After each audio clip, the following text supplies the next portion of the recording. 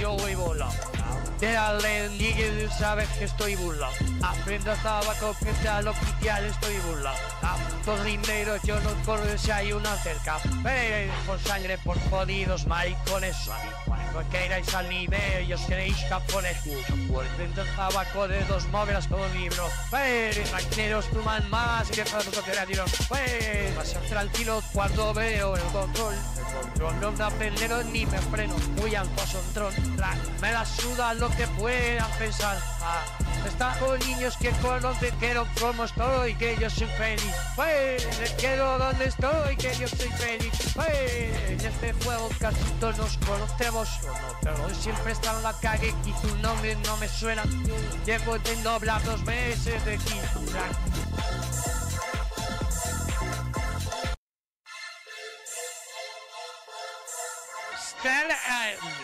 Dale, Dale, Nigel, sabes que estoy burlado. Aprenda tabaco que sea lo oficial, estoy burlado. A los rimeros yo no corro si hay una cerca. Eh, por sangre, por jodidos maricones. Cuando queráis al nivel y os queréis japones. Por dentro tabaco de dos móviles todo libro. Eh, rancheros tuman más que todo lo que era tiro. Pues, a tranquilo cuando veo el control. El control no me acelero ni me freno. Muy al tron. Me la suda lo que puedan pensar. Ah, está con niños que conocen que no como estoy, que yo soy feliz. Pues, quiero donde estoy, que yo soy feliz. Pues, en este juego casi todos nos conocemos. Pero hoy siempre está en la calle y tu nombre no me suena. Llevo de hablar dos meses de aquí.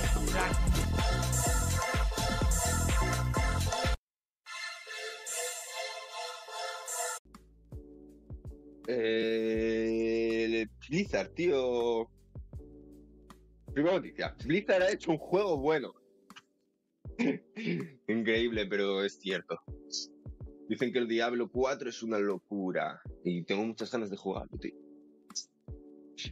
Por, nunca me dio mucho más los Diablos. Pero este tiene muy, muy, muy buena pinta. Así que me lo jugaré, lo voy a apuntar. Me lo voy a apuntar para jugarlo. Mm, ha sido lanzarse y batir un reto histórico en Blizzard. No te jode. Blizzard, no habéis hecho un puto juego bueno en 15 años. Diablo 4 se convierte en su juego más rápidamente vendido de todos los tiempos. La empresa ha anunciado que se han registrado más de 93 millones de horas desde el 2 al 6 de junio. Esto es una locura, tío. Esto es una puta locura. Esto es una puta locura. Esto es una puta locura. 93 millones de horas en 4 días. Increíble, tío. Eh, mm, seguramente seas una de las millones de personas que se han comprado Diablo 4 no, pero me lo voy a comprar. Desde el pasado 2 de junio había muchos jugadores que ya estaban jugando debido a que habían comprado la edición Deluxe o Ultimate.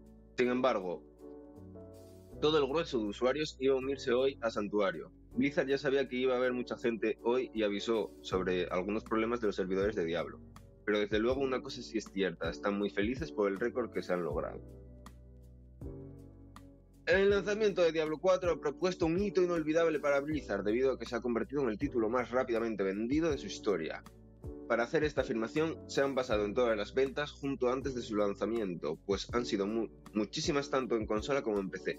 Actualmente no se saben los datos concretos, pero ya os podéis hacer una idea.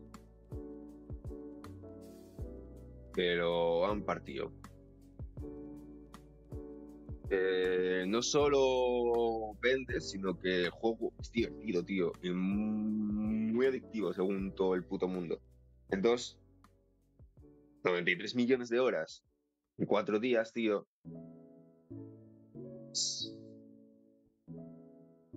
Ahí está. Ahí están las pruebas. No obstante, ya informamos desde hace una semana que desde Wall Street hicieron una previsión de ventas de Diablo y estas fueron de 13 millones de unidades durante los seis meses del año que quedan. Cabe recalcar que esa estimación es bastante conservadora y que no sería extraño que llegara a vender más del doble. Sí, sí, viendo cómo, cómo empezó y cómo las críticas que tiene, la gente está súper viciada, dice que está muy bien, las, las narrativas del modo historia, que es una locura, cómo está doblado. Eh, en definitiva, eh, me lo voy a tener que jugar. Juego, juego potente, juego potente del año. Y la verdad es que me apetece. N- n- No he jugado ningún Diablo. Pero más o menos sé cómo va la historia. Aunque antes de jugar supongo que me veré, me buscaré un vídeo de Lore y tal. Porque no sé nada, no tengo ni puta idea. Pero sí. Mm, me lo quiero jugar. Otra cosa es si me lo juegue en directo o no. Porque no lo veo un juego muy de jugarlo en directo. Llámame loco. ¿Vale? Pero la gente que me pongo a ver streams que en el diablo están aburridísimos. No aburridísimos de por el puto juego, sino aburridísimos de que eh, no, no te permite mucho feedback con el público y con. ¿sabes? Entonces, no, no veo que sea un juego muy. para jugarlo en stream. Ya veré lo que hago. Eh, posiblemente haga como todo y lo empiece en stream y lo acabe. Así que. Más. ¿Eh? No. Eh, Esta viene enlazada con la otra y es que salió, aparte de que salga, de que el juego en sí sale bien, eh, en Xbox Series X- S, joder, Series S eh, va a 1440p y 60 FPS. eh, eh, y 60 FPS. Joder, no puedo hablar con la puta música. ¿Qué está pasando?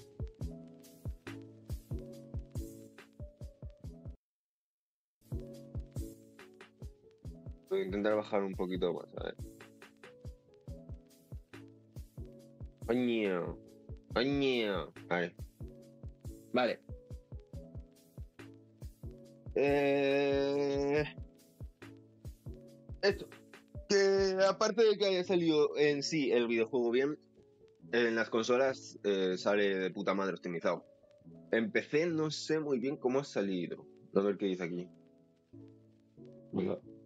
Ah, supuesto que muchas personas se mueren de ganas por entrarse de nuevo en Santuario. Lo único cierto hasta el momento es que este nuevo juego de Blizzard es uno de los mejores que podremos ver durante este año. Aquí te dejo.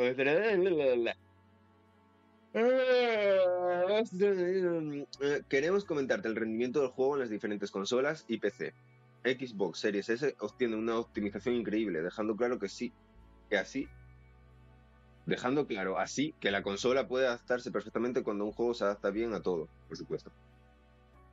Yo he jugado 120 frames y 1080 en, la S. Eh, ahora mismo no me acuerdo qué juego era. No sé si era el Halo o el Gears 5. No me acuerdo, tío.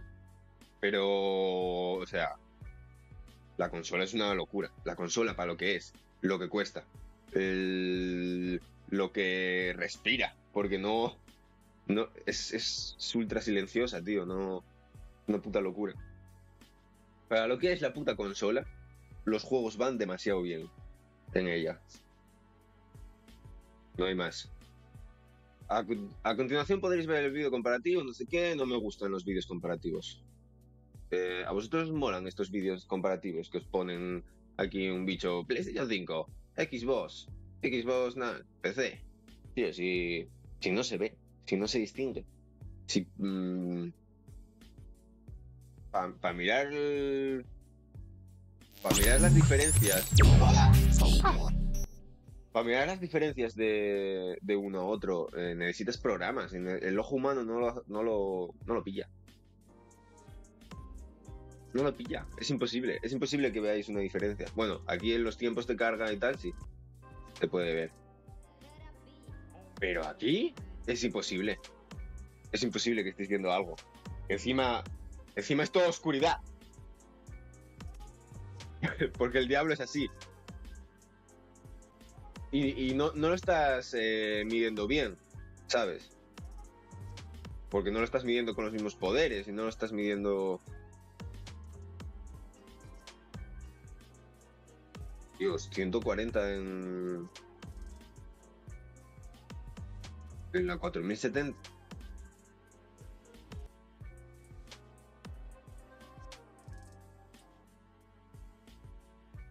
Aquí estaban, ¿no? Los de consolas.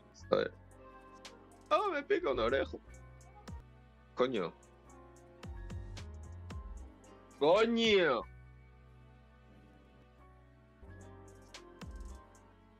De verdad, tío, de verdad, de verdad, de verdad, de verdad, de verdad, de verdad, de verdad, de verdad.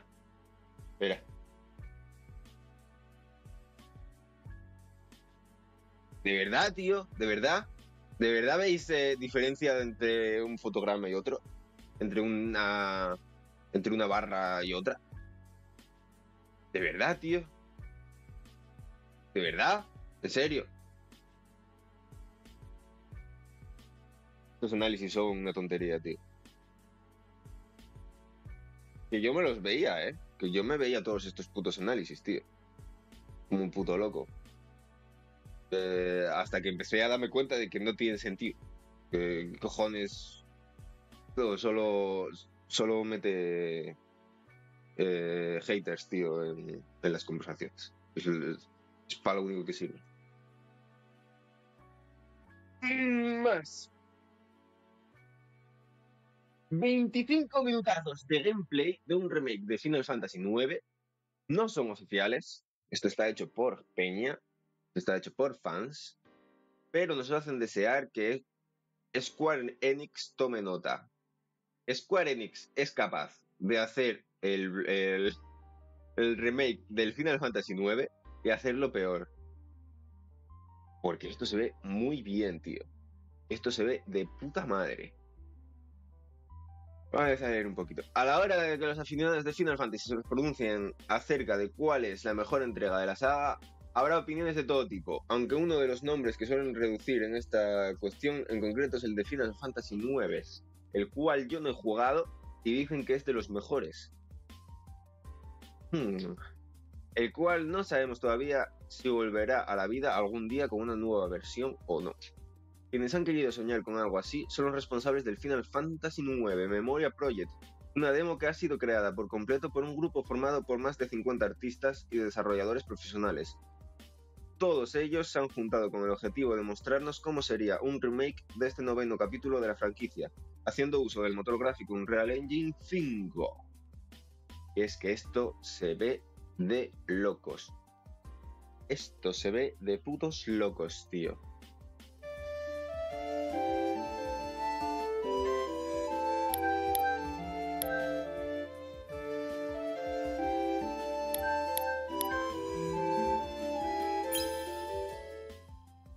A darle un poco para adelante. Bueno, vale, dejo aquí ya.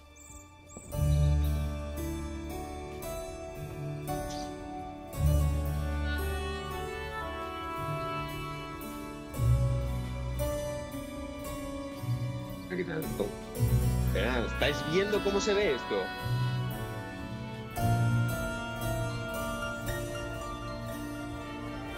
De verdad, tío, de verdad.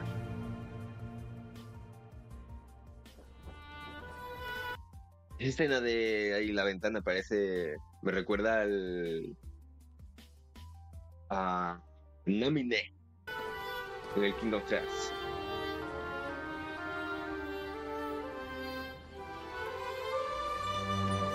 Es una locura, esto es una locura, tío.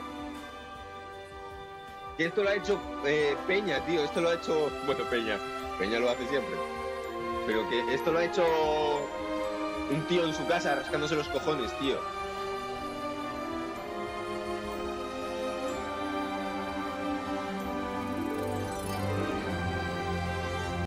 La música es una locura.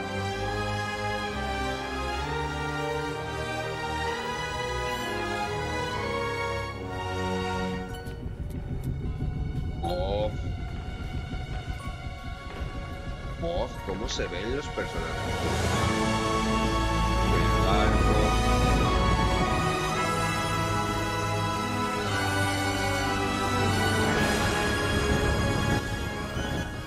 Un poco. Oh, madre. Esto es el principio, ¿no? Eso es el principio de.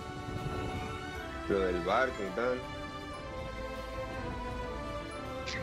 Se ve muy bien, tío, se ve muy bien. Se ve jodidamente bien este puto juego. Mira, mira, mira, mira. Mira, mira, mira, mira, mira, mira. Dios. Loco. Es... Esos reflejos. Loco, loco, loco. Loco, loco, loco. Esa parte es una puta locura, eh.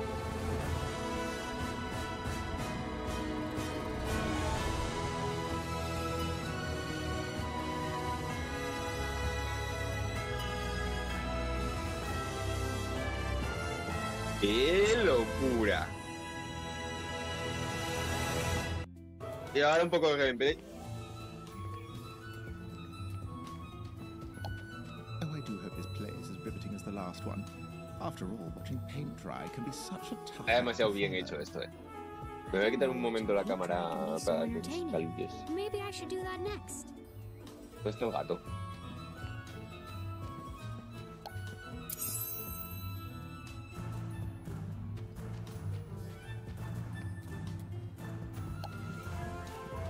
Mira qué loco, mira qué loco, eh. Wow. I wonder what the story behind this statue is.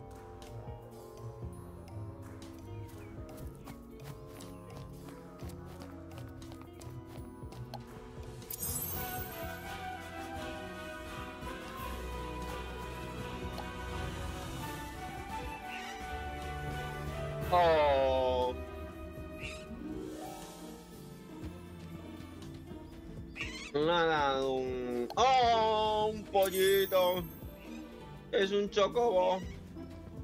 Es un chocobo chiquitito.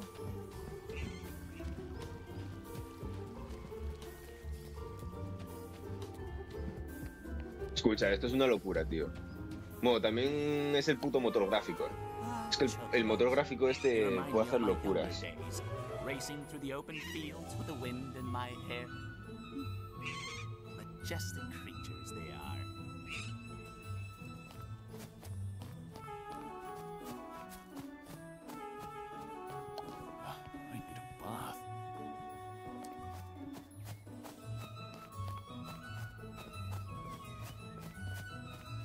¡Qué locura!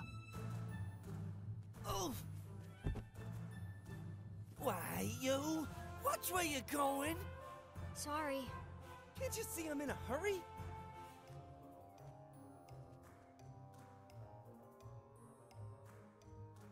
Una locura, es una locura esto, eh.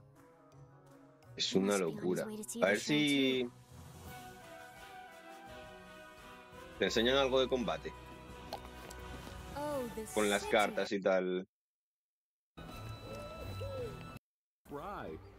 I know how you must You'll never find me here. Should I tell her? No te enseñan nada de combate. Bueno, me imagino que igual no lo tienen, ¿no? Bien guapo, tío. El juego se ve de puta madre.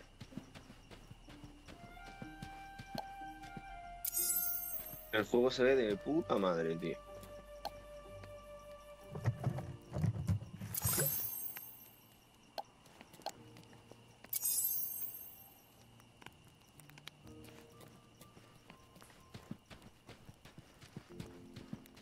Eh, si mal no recuerdo, en este juego eh, había una parte que era de saltar a la comba, que se, que se hizo súper viral ya en su día. Tenías que dar eh, mil saltos o un diez mil saltos, puede ser. Una locura, tío. Una puta locura. Pues eso.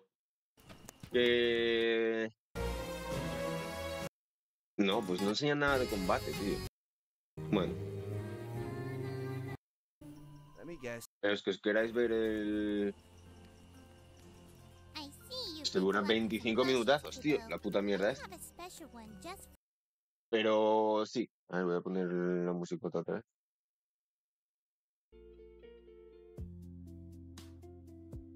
Eh, la verdad es que esto, este proyecto tiene muy buena pinta. Esperemos que Square Enix eh, no se cargue el proyecto, porque no es la primera vez que se carga un proyecto así de, de, de fans y tal. Eh, esperemos que no se lo cargue y que esto valga y esto mm, que os sirva para que os- los contraten a alguna empresa o, los de los de los propios eh, estudios de, de los Final Fantasy, tío, que, que se fijen en ellos. Al final, mucha gente que acaba haciendo ports y, y DLCs y rollos así, eh, pues se acaban fijando en ellos y los acaban contratando. Muchísimos programadores eh, los captan así. Tan solo se trata de una prueba para dejar claro el talento de este equipo, que, eh, como muchos seguidores de Final Fantasy IX, arden en deseos de que Square Enix tome nota y anuncie un remake de verdad. A falta de una posible anuncio por parte de la compañía, están convencidos de que la compañía está trabajando en él, así que el tiempo lo dirá. Pues a ver, a ver si tienen esta pinta, pero lo dudo. Lo primero, que lo hagan el Unreal Engine 5, lo dudo. Espero equivocarme. pero la verdad es que lo dudo. Eh, más. Nada de CGIs. El showcase del domingo de Microsoft se supone que no va a haber eh, CGIs, que va a ser todo gameplay, no se lo creen ni ellos. Los fragmentos mostrados serán en game o in engine. Ah, amigo, vale. Ahí está la trampa. El reciente showcase de PlayStation dejó un mal sabor de boca entre muchos fans por el, el anuncio de algunos títulos con solo una CGI. Humo, lo que yo llamo humo. ¿Sabes? Ponete una CGI de mierda y hasta dentro de tres años no vuelves a saber nada más del puto videojuego. Mm, Sony y expertan en esa mierda. Lo hace todo el mundo, ¿eh? Lo hace Nintendo, lo hace Microsoft, lo hace Sony, lo hace todo, todo Kiski. Y nos gusta. A Nene nos gusta. No fue tan grave como pudiera parecer en un principio porque muchos. Porque hubo muchos juegos que no fueron el caso. ¿Cómo? Tío, en la conferencia de, Sony solo enseñaron puto humo. Sí que sirvió para recibir críticas. No sabemos si por este motivo o por las anteriores conferencias, pero Microsoft evitará el uso de CGIs a toda costa, según ha asegurado hace unas horas el mismo Aaron Greenberg. Solo quedan 7 días para no sé qué, en realidad quedan menos. Estamos a 8. Y es el día 11, creo. Domingo. En este mismo contexto se ha adelantado que el showcase durará alrededor de dos horas. Hostia puta. Y que ninguno de los títulos First Party que se muestren serán completamente trailers con CGI. Al contrario, serán fragmentos in-game o in-engine. O in-game con cinemáticas. No obstante, si alguno tiene dudas, aparecerá marcado en la parte inferior para no llevar errores a confusión. Muy bien. Si respetan lo aprendido, será un gran showcase. De puta madre. No solamente sirve el feedback de la comunidad más reciente, sino que ha aprendido durante años, sino que han aprendido, sino lo que, sino que lo ha, no, sino que lo ha aprendido durante años, tío, no sé leer. El otro día me metí una hostia en la cabeza con el pico de la ventana. Echarme para atrás en, en el sillón que tengo para pintar Warhammer. Y estoy agilipollado desde entonces. No sé leer. Se me ha olvidado sumar. con el tema de las fechas, está más complicada la cosa de respetar. Nosotros somos partidarios de que se muestren los juegos cuando ya hay una fecha clara, pero también de que se muestren proyectos en sus primeros inicios que nos ilusionen de cara a futuro. Esto es verdad. Esto mola. Pero no nos vendas ocho juegos con ocho CGIs que no sabemos ni cómo va a funcionar ni nada, ¿sabes? ¿Por qué no? El showcase de 2022 se autolimitaba por decir que eran los juegos que llegarían en los próximos 12 meses, cuando al final, por mucho que han querido, no ha sido cierto, ni con Redfall, ni con Starfield, ni con Forza. Pero una cosa no quita la otra, no hacía falta tan la afirmación, ni tampoco que dejáramos de verlos por esa misma cuestión. Eh, Aquí te ponen, in-game quiere decir gameplay puro y duro, y in-game quiere decir que está hecho con el motor gráfico del juego, pero no es gameplay. Yo creo que de todos los juegos no nos van a meter para gameplay. Nos meterán este, eh, eso, escenas y rollos eh, hechos con el motor del juego. Eh, mm, tú, me he saltado la primera noticia que iba a dar. Que era esta de Twitch. Twitch iba a cambiar una parte crucial de su plataforma, pero no ha tardado ni un día en recoger cable. Está hablando todo Kiski de esto, así que lo paso rapidísimo. Eh, Twitch realiza cambios en las promociones y en pocas horas recoge cable a raíz de las críticas de los streamers. De hecho, mm, no solo a raíz de las críticas, sino que eh, muchos amenazaron con irse a, a Kik. Y Kik, eh, de hecho, aparte de esto, Twitch eh, metió un- unas políticas de que si tú mañana te quieres pirar de Twitch, tienes que pagar 25 dólares. O si mañana te banean por cualquier rollo de, Twitch, tienes que pagar 25 dólares. Pues Kik sale diciendo que a, todos los creadores de contenido que, se, pasen a Kik después de, Twitch, eh, Kik eh, abonará esos 25 dólares que tienes que pagar. Tío, muy bien. Pero dejar de, de, vivir con criptomonedas y con casinos, ¿sabes? Yo qué sé. Hacéis unas cosas muy bien, pero después otras os cagáis en la boca de, de la peña.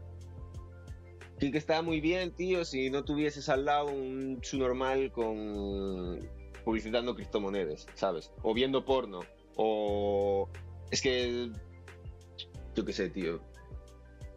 ¿Sabes? Yo no quiero tener un compañero al lado eh, haciendo esas movidas. No sé si me, si me entendéis. Prefiero muchísimo más el ecosistema de Twitch, que es como mucho más sano, ¿no? Por decir algo. Twitch no ha parado de realizar cambios bleh, polémicos desde el aumento significativo de espectadores y streamers en la plataforma hace tres años, desde la reestructura de los eh, repartos de ganancias a las prohibiciones por razones absurdas son algunos ejemplos claros, pero esta misma madrugada hemos visto un cambio tan, tan drástico que la propia plataforma ha tenido que recoger el cable pocas horas después. La movida, ya que eh, se metieron con los patrocinios y con, lo- y con, las eh, con los anuncios, con las promociones. En este caso hablaremos de los anuncios y de las promo- promociones, una de las grandes bazas de los streamers, cuando se trata de ganar dinero. Resulta que la plataforma ha decidido realizar cambios muy importantes para los productos patrocinados, algo que lleva a la plataforma bastante tiempo. Al parecer la intención que tenía Twitch era ajustar algunas funciones de sus patrocinios con cambios que ha enfadado a la comunidad. Lo que querían era llevarse una parte antes de que negociases con ellos. Eso era lo que quería. Twitch quería, eh, ¿vas a hacer un patrocinio con Colacao? Muy bien, pero antes Colacao va a hablar conmigo y me va a dar, me va a hacer una paja.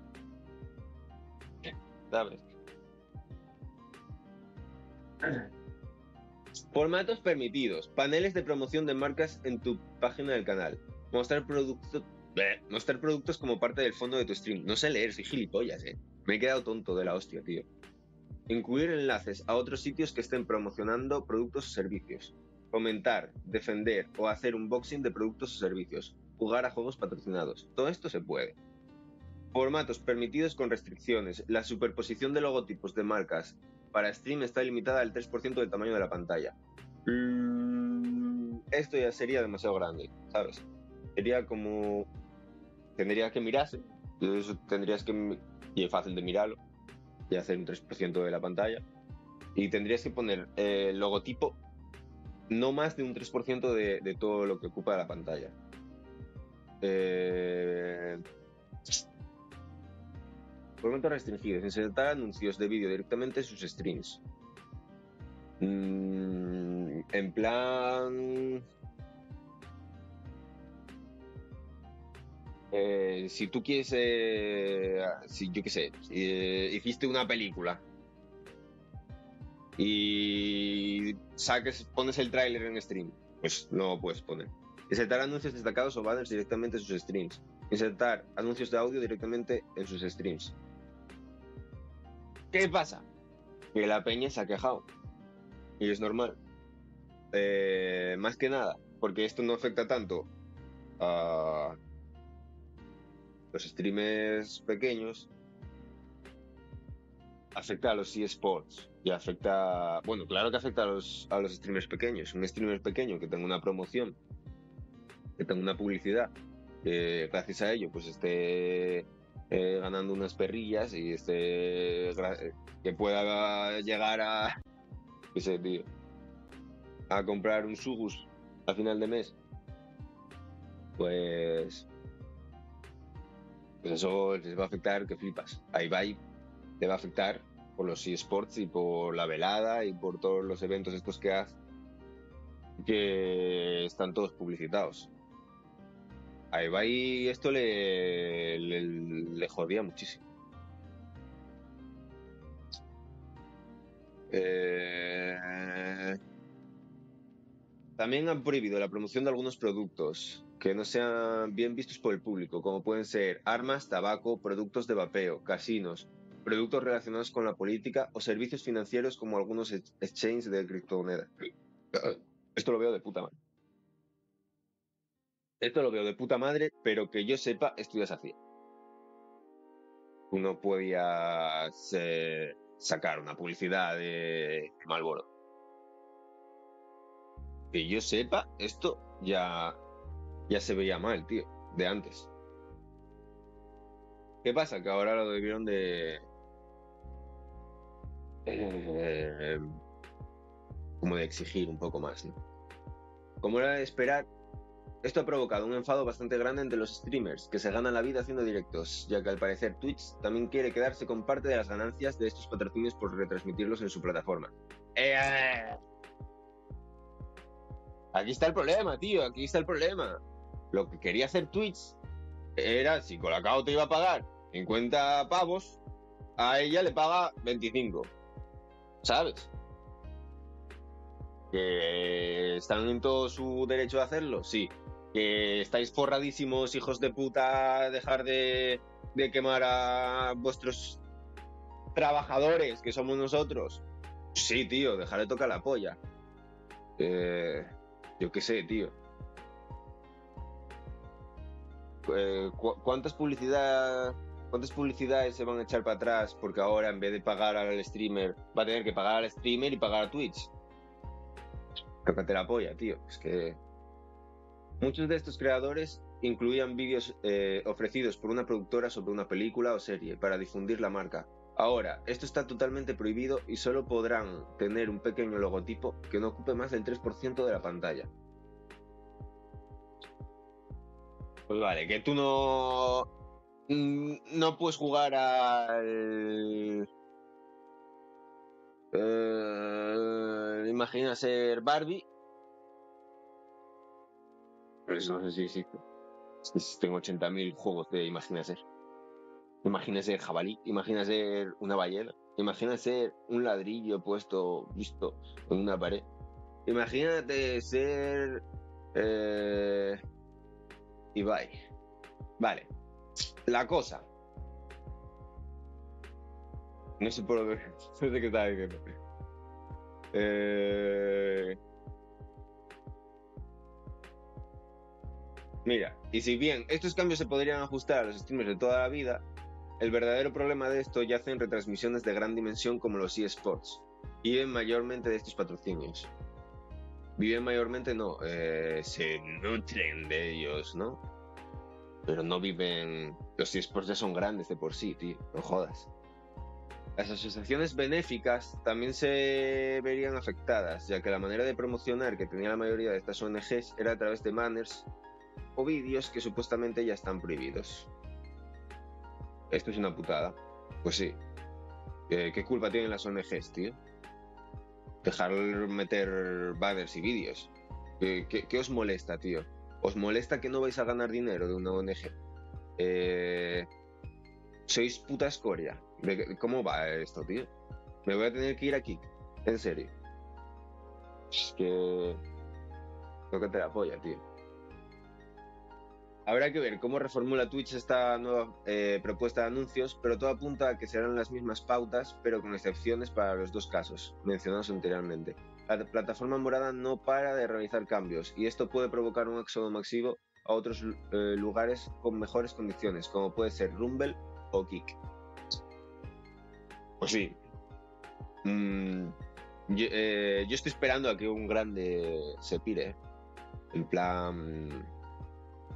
Rubius. Auronplay. El Chocas.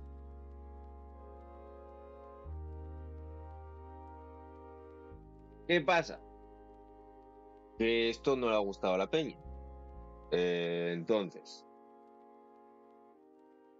eh, eh, es, tardaron un puto día en recoger cable. ¿Cuál es mi opinión de todo esto? Que Twitch se la sabe todas y va a acabar eh, activando esto de alguna manera. Si Twitch quiere que para publicitarte en, en su en su canal, digamos, en su canal, en su plataforma, tengas que pasar por Twitch, pues no, no va a quedar otra. Que los sitios de publicidad y las marcas pues van a tener que, pasar por Twitch, pas- pasar por caja. Y al streamer eh, le joderá todo esto. Supongo que cobrará menos pasta.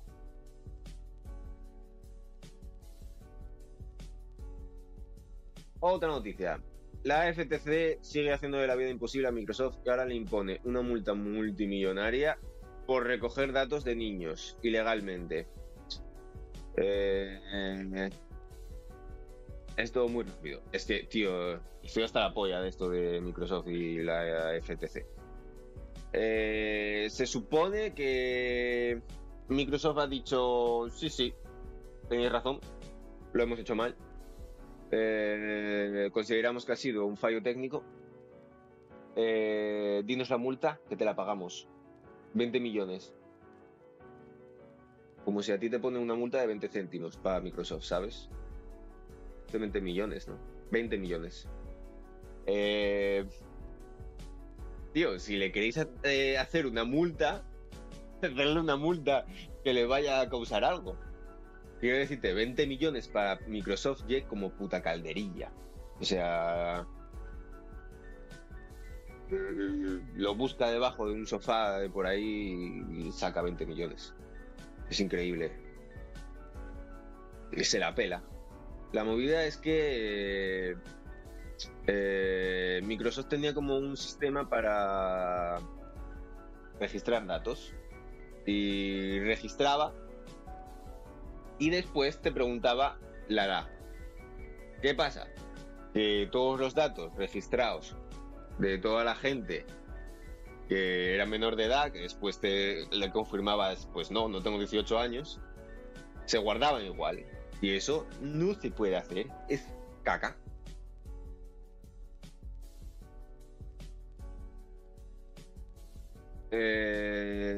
Eh, dicen que ha sido un fallo técnico.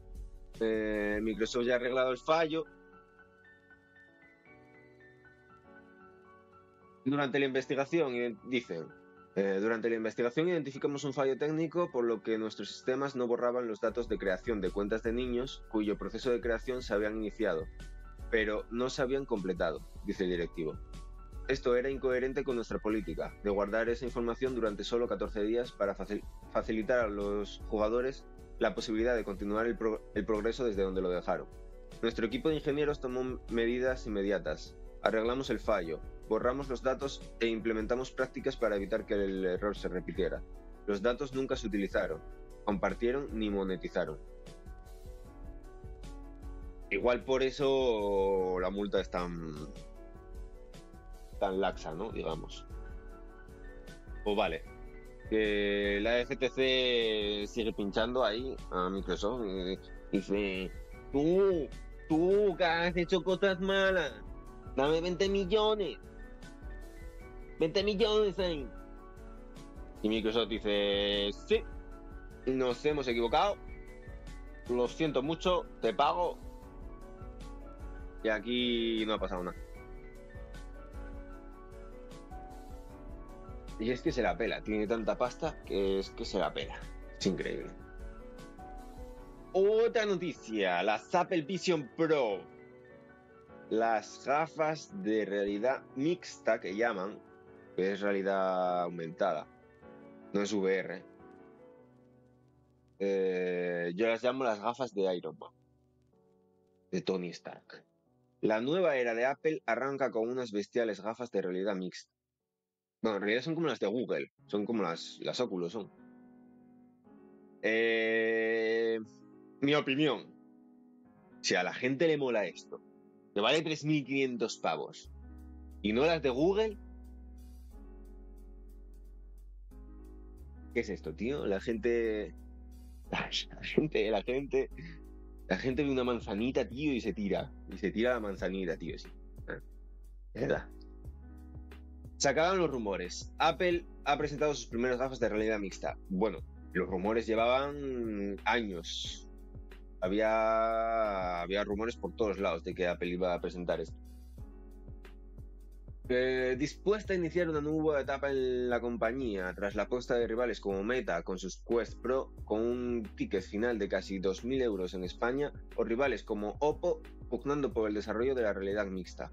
Apple inicia una nueva era con su gama de producto en su gama de producto con las Apple Vision Pro.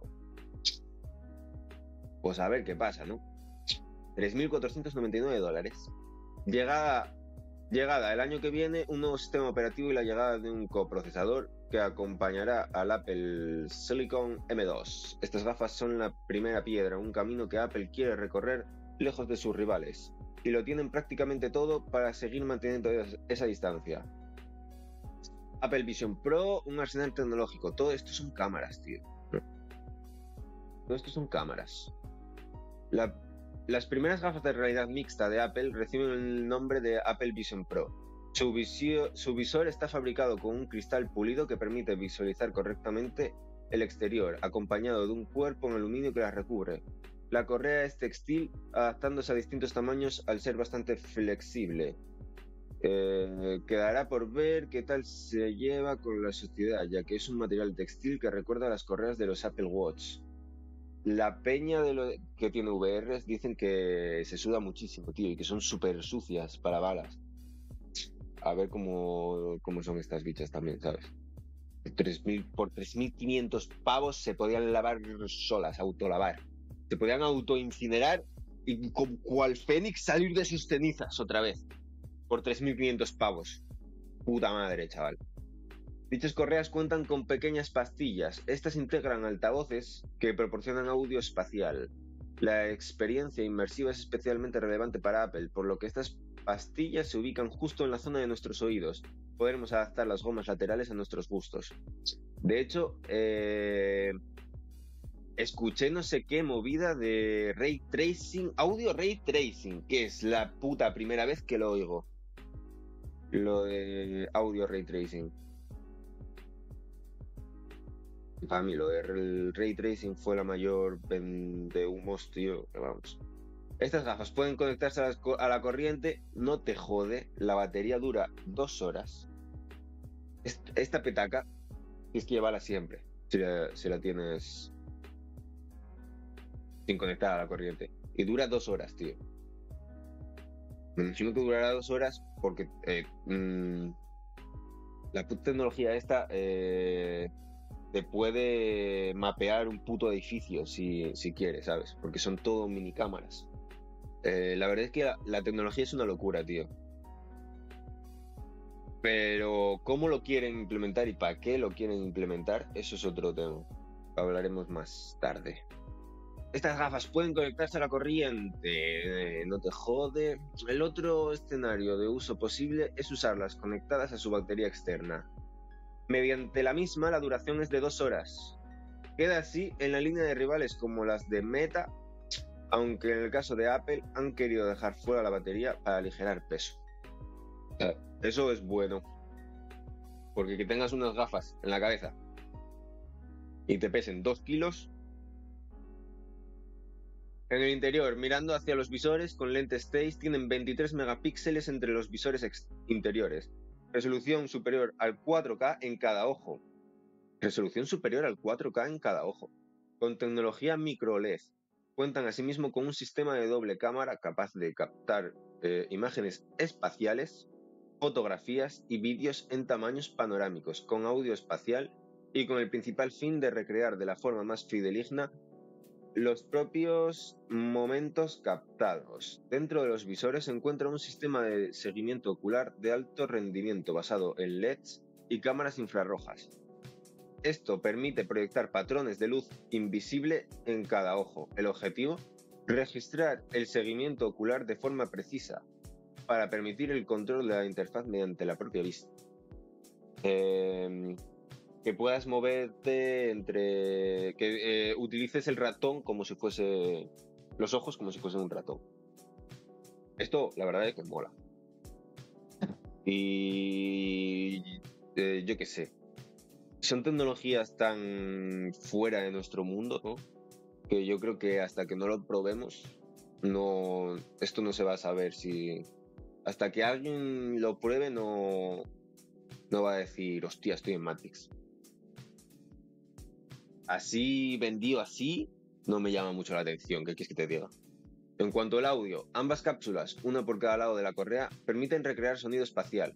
Analizan, al igual que las AirPods, el entorno para adaptarse a él. Apple lo llama trazado de audio, un sistema que mapea en 3D gracias a infrarrojos y cámaras, en tiempo real, el entorno en el que estamos para adaptar el sonido. Esto ya lo hacen muchas teles. Eh, además de contar con un arsenal de sensores, tanto detrás como fuera del visor, las Apple Vision Pro cuentan con dos cámaras de alta resolución, así como un escáner LIDAR. Estas dos primeras cámaras se encargan de ofrecer un seguimiento preciso de eh, cabeza y manos, mapean en 3D y en tiempo real el entorno y son capaces de capturar tanto fotografías como vídeos. Estos últimos pueden grabarse con sonido espacial. Esta mierda te mapea un edificio, tío.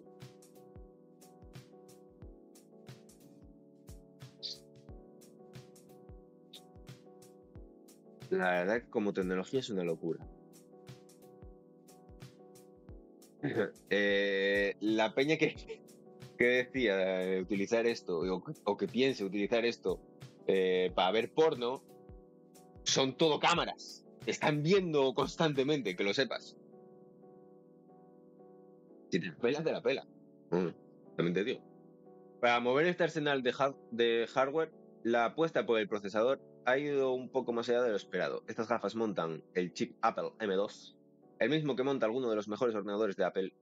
Junto al mismo, ex- estrenan el nuevo chip Apple R1, un SoC especialmente dedicado para procesar la entrada de las cámaras, sensores y micrófonos, transmitiendo imágenes a las pantallas en 12 milisegundos. El objetivo es que se pueda procesar toda la información que ven las gafas sin retrasos y en tiempo real. ¿Y no se calentarán tener literalmente un M2 funcionando en nuestra cabeza? Apple ha pensado en cómo gestionar la disipación térmica implementando un diseño eh, perforado alrededor del marco de, al- de aluminio. Este, según Apple, permitirá disipar el calor generado por las gafas. Encima eso, tío. Eso otra. Que el puto calor que tiene que dar esto. Ya dan calor a las VR. Pues imagínate esto que, que está echando. Está echando aire caliente, tío. Si bien la apuesta en, hardware es altísima, la verdadera clave diferencial de estas gafas está en uno de los puntos más fuertes de Apple, el software. Eh, Visión, Visión OS y el escenario de uso de las Apple Vision Pro.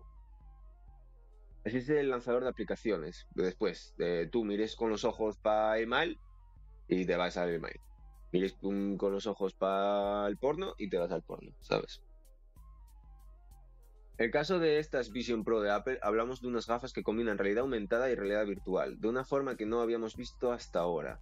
Sus rivales directos se centraban en un sistema de balizas para lograr recrear realidad virtual o la proyección de contenido en nuestro entorno para crear realidad aumentada. El software encargado de eh, gestionar esta propuesta recibe el nombre de Visionos. Visionos. Visionos. Visionos cuenta con una nueva interfaz tridimensional que hace que el contenido digital se vea y se sienta presente en el mundo físico de un usuario. Al responder dinámicamente a la luz natural y proyectar sombras, ayuda al usuario a comprender la escala y la distancia para permitir la navegación del usuario y la interacción con el contenido espacial. Bueno, sí, que, que te quieren vender esta mierda para usarlo en casa y yo la verdad es que no lo veo. Esto lo veo como algo más tecnológico, como algo más eh, adaptado para científicos, arquitectos, ingenieros, médicos. Yo qué sé, tío. Eh, lo veo más eh, profesional que, digamos, el uso que le puedas dar tú en tu propia casa. Y ponerte una televisión y ponerte a jugar y ponerte a ver una película. Eh, no lo veo, ¿eh? Encima el precio. Eh, 3.500 pavos para ponerte una película en casa. Para ver sillas. Eh, no me jodas, tío. ¿En serio? Es que es, eh, este es, esto es lo que están vendiendo, ¿eh? Para ver fotos. Vale. Que sí. Que está muy bien, pero no lo veo, la verdad. Estarán disponibles a partir del año que viene. Eh... Supone, no tiene el reto más importante de mostrar si te la base del futuro. A ver. La cosa de Apple es que ya ya ha marcado como muchas tendencias en el, en el mercado de la tecnología, ¿no? Eh, las tablets se hicieron tablets, o sea, tenemos utilizamos tablets porque porque estos sacaron los iPads, los iPads sí, los sí, los ¿cómo se llaman las tablets de, de Apple? Ya no sé. Los los mierdos, los cascos estos los iPod, lo mismo. Yo qué sé, han marcado han marcado un poco de, cátedra en esto de la tecnología. Entonces, eh, a ver, si a la peña le mola esto y no le, no le molan las de Google, yo ya no entiendo nada. Porque creo que es lo mismo. No sé por qué esto vale 3.000 pavos, también te digo.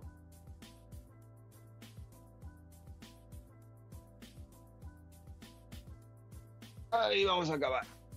Eh, do- dos noticias más. Un videojuego está sufriendo el boicot de nacionalistas españoles. ¡España! El motivo, eres un azteca y matas conquistadores. Quiero jugar a este juego ya. Por favor, dámelo. Dámelo en vena. Hace unos días, eh, presentaba el lanzamiento del título Ecumene Aztec, un videojuego en el que te conviertes en un guerrero azteca durante la época del imperialismo español y luchas contra innumerables conquistadores europeos. El juego, que según sus desarrolladores no pretendía ser político, acabó siendo justo lo contrario, perdón, causando el enfado de la comunidad por varios motivos y dando origen a un troleo masivo por parte de grupos de extrema derecha. Tócate la polla, tío. Mm, no estarán aburridos ni nada. Oye, la puta publicidad esta, tío. Ah, mierda. El revuelo no se ha debido solo a las imprecisiones históricas del videojuego, que las tiene, o que parezca una imitación algo desfasada del Assassin's Creed, sino que el hecho de que solo te permita jugar con el bando de los mesoamericanos y consista en degollar a españoles, literalmente ha hecho que grupos radicales traten de sabotearlo de todas las maneras posibles. Pero, de verdad, estáis aburridísimos. No tenéis... No tenéis otra cosa que hacer. Mm, ir a dar paseos por ahí con los afiliados de Vox. ¿Qué me estáis contando, tío? Algunos miembros del grupo de extrema derecha han conseguido robar el sitio web que tiene el nombre del, del desarrollador del videojuego para luego convertirlo en una página que promueve, promueve el imperialismo español y presenta imágenes vinculadas al fascismo y a la extrema derecha. Si accedes a la web, verás una cita atribuida a Hernán Cortés, uno de los conquistadores responsables de la destrucción de Tenochtitlan, como se diga, perdón, y la esclavitud. La Cruz de Borgoña, vinculada al Imperio Español, así como enlaces a una página de 4chan sobre supremacía blanca. Tío, esto es horrible, ¿eh? Esto es puto horrible, de verdad. Eh, no tenéis otra puta cosa que hacer. Eh, de verdad, de verdad, tío. Algunos miembros del grupo de extrema derecha han conseguido robar. Esto lo de leer. Obviamente, eh, no tiene nada que ver, está relacionado con este tipo de ideología. De hecho, tal y como informa la cuenta de Instagram de estos grupos extremistas, eh, Giancraft no había registrado el dominio, así que en cuanto se reveló el videojuego, aprovecharon la oportunidad para comprarlo y crear toda la confusi- confusión posible para boicot- boicotearlo. Al parecer estaba en medio de un cambio de nombre cuando sucedió lo ocurrido. Tal y como explica De Berg en este artículo, un portador de relaciones públicas de la compañía ha afirmado que desde el anuncio del videojuego han sido atacados por grupos de extrema derecha e incluso han recibido amenazas de muerte de quienes no toleran que el videojuego se base en ensañarse violentamente contra las fuerzas españolas del siglo mm, XVI. ¿De qué va el juego exactamente? Se trata de un RPG de supervivencia con una jugabilidad similar a la de Assassin's Creed. Nuestros, eh, compañeros de 3D Juegos han escrito acerca del título, una aventura en la que, en lugar de ser europeos o descendientes de aquellos del viejo continente, nos convertiremos en un mesoamericano, un azteca o me- mexica, que deberá defender su pueblo del invasor español. Eh, lo quiero jugar ya. O sea, la- no, no sé cómo es el puto juego, pero lo quiero jugar. Luego, dámelo, dámelo, por vena. Tal y como explican algunos expertos, el videojuego apuesta por todos los tópicos. Una representación poco realista de, de Tenoch- Tenochtitlan, inconsistencias cronológicas e incluso confunde mayas y aztecas. Eso ha motivado un aluvión de críticas por sus fallos históricos al que el estudio ha respondido con cambios notables y nuevas promesas. De hecho, algunos jugadores eh, han pedido al equipo de desarrollo que fuera posible jugar con los españoles o unirse a ellos, y no únicamente con los aztecas. De verdad, estáis enfermitos, necesitáis un abrazo. Para hacer misiones en conjunto, con tal de experimentar en primera persona la caída de... Y es algo que el equipo está pensando en hacer. Es una actualización en la página de Steam. Los desarrolladores han anunciado que reelaborarán el contenido para permitir que los jugadores usen a los conquistadores, así como implementar funciones adicionales para que el juego sea históricamente más preciso. No estaba planeado, sin embargo, eh, vimos que alrededor del 40% de la audiencia dice que le gustaría tener la opción de unirse a los conquistadores, por lo que podríamos tratar de hacer lo posible. El juego no es político de ninguna manera, y nunca lo será, es historia ficción, explicaba la compañía. Lamentablemente muchos jugadores no se lo han tomado como tal, y ahora la empresa tiene que salir del, del paso como pueda. Qué penurria, tío, pues. La verdad es que. A mí dámelo, dámelo, pero que. Sí, sí. Todo lo que sea jugabilidad está bien. Que, que pongan que se pueda jugar con los. con los españoles, pero. Yo qué sé, tío. Esto se monta. Se monta eh, eh, este, pet- este petate cuando. cuando sale un Assassin's Creed cuando sale el Assassin's Creed de de Egipto, el Origins, y, y, tú eres un Medjay, eh, ¿hay algún puto colgado que se queje y que diga, no, no, es que yo quería ser romano? Yo quería, yo quería experimentar lo que dice el tío este. Yo quería ser romano. Yo es que soy italiano y quiero ser romano. Seguro que sí, pero no así. Tío, de verdad, damos mucho asco. Los españoles damos muchísimo asco, tío. Y, y es que la puta extrema derecha es horrible, tío. Ah, yo qué sé, tío. Mm, Ir a ver a Franco, ir a visitar a Franco, tío, y dejarnos en paz una puta vez. Soy falangista. La última noticia. Y me piro a hacer la comiduki. Y de tarde igual abro otra vez.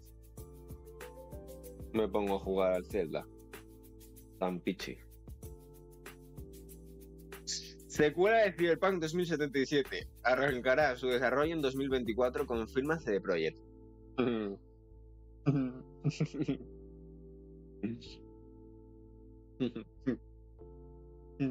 Yo sí hice de Project y no hubiese hecho secuela.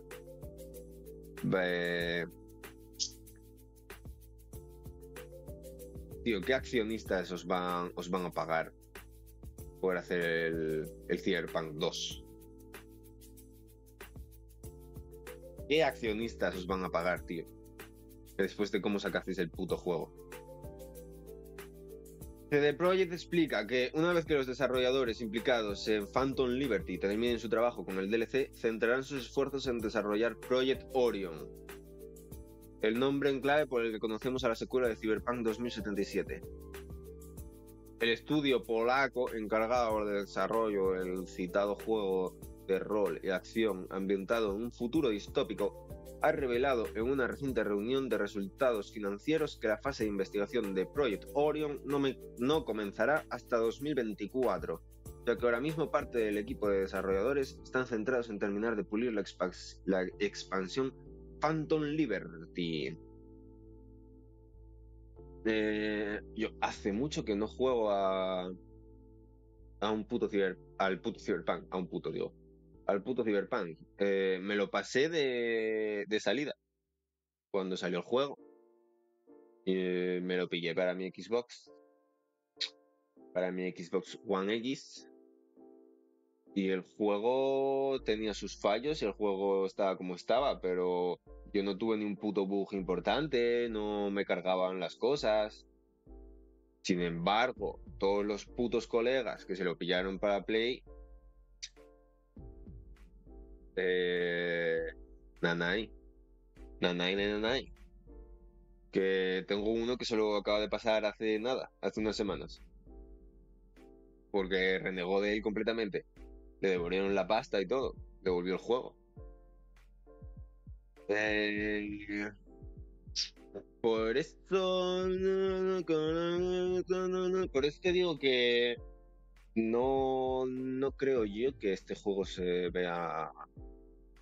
Se vaya a ver con mucho hype. Dicen que ahora está de puta madre. Que ahora que lo arreglaron, que. Y que es otro juego. No tengo ni puta idea de cómo está, la verdad. Porque yo me lo pasé su día cuando salió y no volví a tocar. Probablemente le he hecho otra run.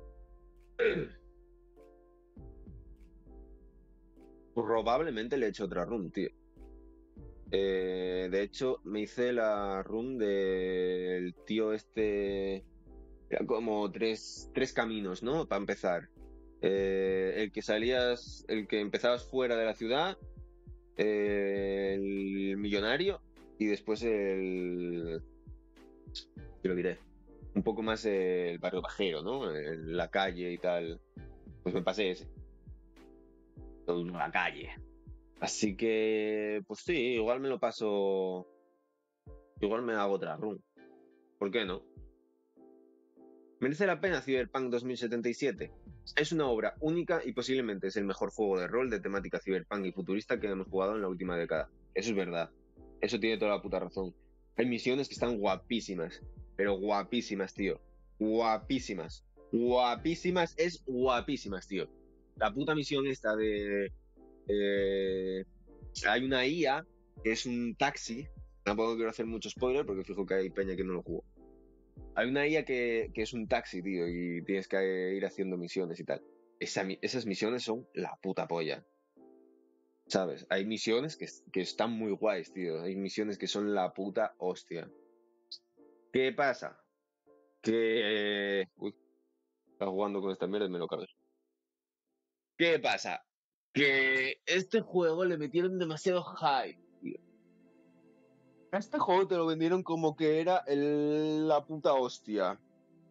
Que le ibas a pegar un. un balazo a una pared y iba a haber destrucción, iba a dejar el agujero en la pared, se iba a ver el fondo, no sé qué. Juegos así, súper. súper notas que. que no. No. No sé. Eh, no quiero hablar mucho de él porque ahora no sé cómo está. También te digo, cuando lo jugué yo, eh, el rollo de los NPCs y de tal daba asco, tío. Pero da asco, eh. NPC, NPC. Lo que es un NPC del Skyrim. Eran. No hay más. Eh, se acabó. Y me. Games. Con esto. Todavía ve a List of Top 5 gatos. Número 5. Gato Play Piano.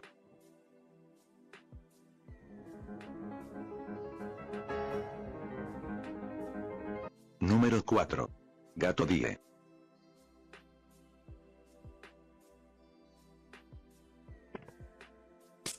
Número 3. Gato Estaré.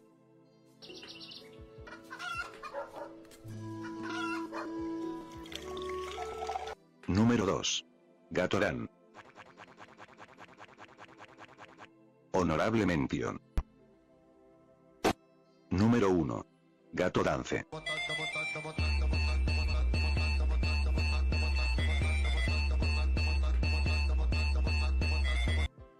Pepi, ¡Hala! Que os follen. Eh... ¿Qué coño tengo aquí? Tengo la cámara muy rara puesta.